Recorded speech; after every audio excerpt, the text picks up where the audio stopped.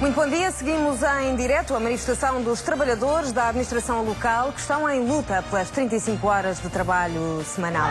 A jornalista Carla Ascensão acompanha este protesto em Lisboa. Bom dia, Carla. Onde estão? 35 horas sim, 40 horas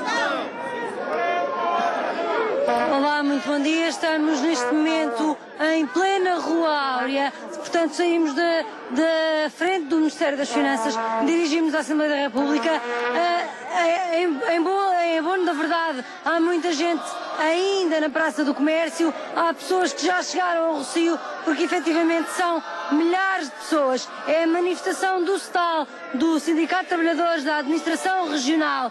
Já vimos aqui eh, pessoas de Castelo Branco, de Bragança, de Faf, Lisboa, portanto, um pouco de todo o país. Eu vou aqui falar com alguns trabalhadores, tentar perceber o que os trouxe até esta manifestação. Muito bom dia.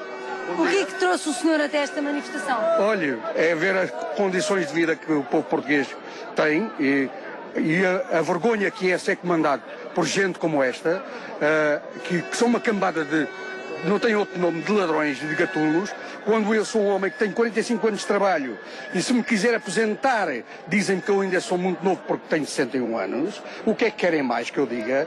Isto é uma, Uma das reivindicações que mais se ouve nesta nesta manifestação é a passagem das 40 para as 35 horas. De que forma é que isso pode alterar a vida dos senhores? Em muitos casos, porque é o seguinte, derivado ao, ao vencimento que nós temos, isto é um roubo de mais de 14%, que é mais uma hora que se vai trabalhar, em que não é paga, não é? Os vencimentos são precários. Eu estou, sou funcionário de uma Câmara há 28 anos, ganho 665,96. Que é uma que está a dizer é que acha que já é mal pago para 35, quanto mais para 40, é isso? Corretamente, corretamente. Em, to- em todos os casos, porque isto é uma vergonha, não é? Ah, isto não se admite em pleno século XXI, não é? No, no- no início do século XXI, termos aqui ah, ah, pessoas a ganhar 600 e tal, quando diziam tudo, a Europa era o, era o, grande, era o grande desenvolvimento. Onde é que está o desenvolvimento para quem trabalha por conta do trem? Muito obrigada. Vou aqui falar com outros manifestantes. Muito bom dia. A senhora, por exemplo, posso perguntar-lhe de onde é que vem? Bom Barral, Bom Barral. E porquê que decidiu juntar-se à manifestação? porque eh, o momento é de crise, o governo tem-nos andado a roubar ao longo dos anos e esta questão das 35 horas é muito penalizado para todos os nossos trabalhadores. Não estou, De não, que forma é que a penaliza o facto de trabalhar 40 horas e não 35? primeiro, afeta-nos a vida pessoal e familiar. Depois, obviamente, trabalhando mais horas pelo mesmo vencimento, penaliza-nos no, no, no, no, naquilo que são os nossos, os nossos rendimentos.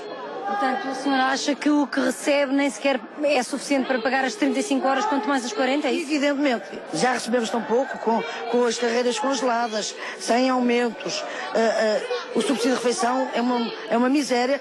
Trabalhando Recebe subsídio de desemprego, de, de refeição, peço desculpa. 4 euros e pouco, nem tem presente, são 4 euros e 35 ou 48, uma coisa assim. Ah, É uma insignificância, já, já nem dá para uma, para uma Santos e um sumo, pouco mais. Tudo o que nos tem sido retirado, tudo o que nos tem sido roubado, e agora com esta questão das 40 horas pelo mesmo vencimento, com a, O que a senhora faz concretamente? Eu sou ah, ah, funcionária no, no posto de turismo. Presto informações turísticas. Ali no Bom Barral. Ali no Bom Marral, para o município do Bom Marral. Muito obrigada. Portanto, as palavras de vários manifestantes, várias pessoas vindas de todo o país, uma vez mais, são milhares e milhares de pessoas, de acordo com o presidente do STAL, entre 12 a 13 mil trabalhadores reunidos esta manhã. É a manifestação dos trabalhadores da administração local que reivindicam, acima de tudo, que as 40 horas passem novamente a 35. Dizem que o que recebem não é suficiente para pagar as 35 horas semanais, quanto mais para pagar as 40. É por isso mesmo que hoje se juntaram frente ao Ministério das Finanças, reivindicaram ah, uma série de coisas, principalmente esta ah, a das horas e a dos salários precários, ah, juntaram-se ao Ministério das Finanças e gritaram algumas palavras de ordem para a Ministra Maria Luísa Albuquerque, portanto a, mini- a Ministra das Finanças, e agora faz-se então o percurso até à Assembleia da República, onde continuarão a ser ditas estas palavras de ordem. Carla Ascensão a acompanhar então este protesto, aí voltaremos um pouco mais à frente neste jornal.